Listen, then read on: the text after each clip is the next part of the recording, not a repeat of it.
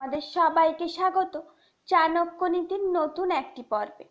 সর্বজ্ঞানী পণ্ডিত চাণক্য মানব জীবনকে আরও সুখের ও সুন্দর করার জন্য ওনার উপদেশগুলি অর্থশাস্ত্র গ্রন্থে লিপিবদ্ধ করে গেছেন, যা অতীতে যতটা হেল্পফুল ছিল, আজও ততটাই হেল্পফুল রয়েছে। উনি মনে করেন, কোনো মানুষের মধ্যে যদি এই তিনটি দোষ থাকে, তাহলে সে কোনোদিন ধনী ব্যক্তি তো হতেই পারবে না। তাছাড়া তার সংসার জীবনও কখনো সুখের হবে না। প্রথমত কাম ক্রিয়ায় অন্ধ ব্যক্তি। যে সমস্ত ব্যক্তির মন সর্বদা কাম বাসনায় মগ্ন থাকে, তারা ভালো আর মন্দের তফাতটা বুঝতে পারে না। এরা কামের মোহে অনেক খারাপ কাজকর্ম করে বেড়ায় এবং এদের জীবনে আপন আপনজনের কোনো মূল্য থাকে না। এরা যে কোনো সময় নিজের স্বার্থের জন্য অন্যের ক্ষতি করে। সেহেতু এই সমস্ত মানুষজনেদের সঙ্গে মেলামেশা করা আমাদের একেবারেই উচিত নয়। এদের সঙ্গে বন্ধুত্ব করলে আমাদের চিন্তা ভাবনাও এদের মতো হয়ে যাবে।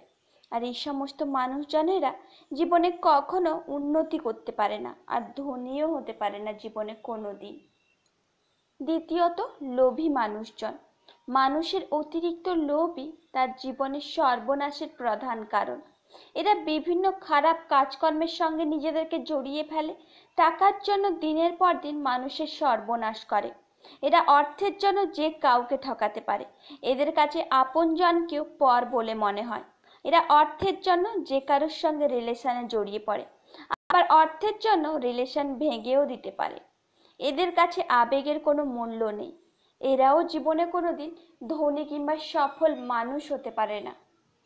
তৃতীয়ত, যেসব মানুষেরা নেশা করেন, যারা নিজেকে খারাপ কোনো নেশার সঙ্গে জড়িয়ে ফেলেছেন, যারা মদ্যপান করে সারাক্ষণ মাতাল হয়ে থাকে, তারা জীবনে সারাক্ষণ কোনো না কোনো ভুল করেই থাকে।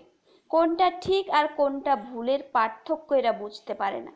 এরা চোখ থাকতেও অন্ধ হয়ে যায়। এই সমস্ত মানুষদের কখনো সঠিক পথে আনা যায় না।